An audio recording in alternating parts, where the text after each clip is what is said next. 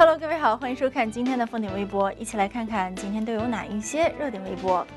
叮咚，你有一条未读的短消息。听到这句话时呢，你可能会下意识的找手机，但是它却是来自名叫 Matchbox Card 的小小火柴盒的。有艺术家受到贺卡、礼物盒和微型元素的启发，在火柴盒表面作画，而火柴盒里面则摆上精心制作的小手工。最特别的是，因为每个消息都隐藏在火柴盒里，当收件者打开盖子的一刹那，等同于收到了一个可爱的小惊喜。圣诞节快要到了，不管是想俘获女神的芳心，还是向爱人、亲戚、好友表达自己的祝福，都可以动手做一个个性化、温暖的 Matchbox。那接下来呢，要给大家讲一个温暖的小故事。差不多三年前呢，主人比尔·格斯坦带着爱犬贝拉去到位于佛州的德尔雷海岸的办公室，不料呢，贝拉从那里走失，没了踪影。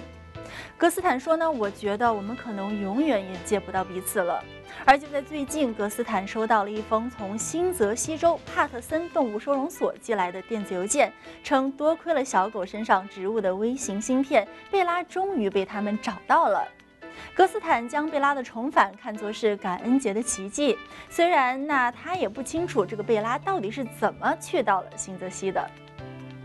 好了，以上就是今天凤鸟微博的全部内容。如果电视机前的您想看到更多有趣的资讯，别忘了关注我们的微信公众平台，只要扫描屏幕左边的二维码就可以了。感谢您的收看，再会喽，拜拜。